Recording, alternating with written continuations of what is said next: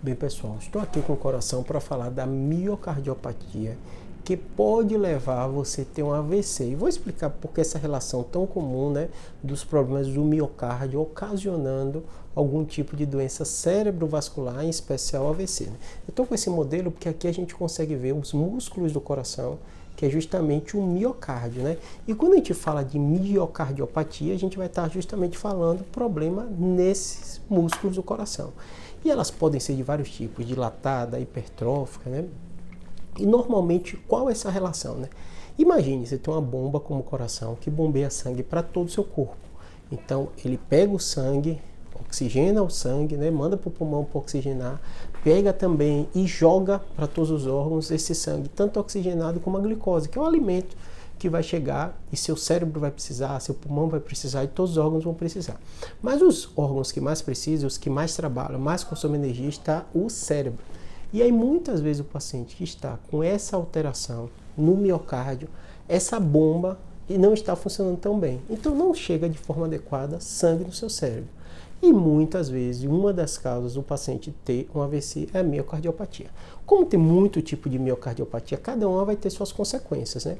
A miocardiopatia hipertrófica, né? O coração não vai estar com essa bomba funcionando bem, né? Pode dar uma série de consequências, inclusive fibrilação atrial, onde a bomba não vai estar funcionando legal. A miocardiopatia dilatada, onde há uma dilatação do coração, que também vão dar as consequências. Mas você tem que entender o seguinte: se a bomba no coração não está legal, consequências elas vão ter. E essas consequências podem levar à formação de coágulos. E esses coágulos podem ser lançados para o cérebro, fechando um vaso, dando AVC.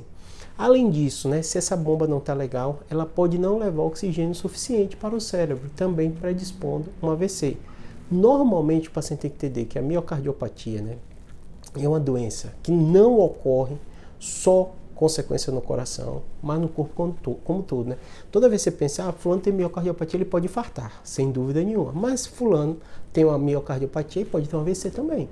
Então, as doenças cerebrovasculares, elas ocorrem com muita associação com o paciente com miocardiopatia.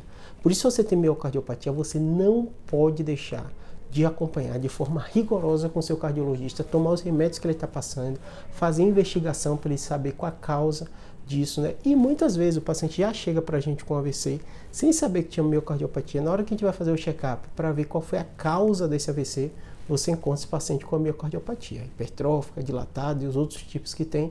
E justamente, se muitas vezes o médico primário que vai mais acompanhar, vai mais seguir, vai fazer essa prevenção que a gente chama secundária depois de um AVC instalado, vai ser o cardiologista, tá bom? Espero tenha ajudado. Sei que são doenças novas, muita gente aqui que descobre por causa de um AVC e vem aqui pesquisar no YouTube e acaba encontrando esses vídeos, mas tento esclarecer mais um pouquinho para vocês aqui, tá bom? Qualquer dúvida, comentário, deixa aqui que eu tento fazer um vídeo específico.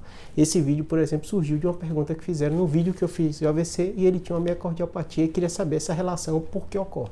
Espero tenha ajudado. Abraço.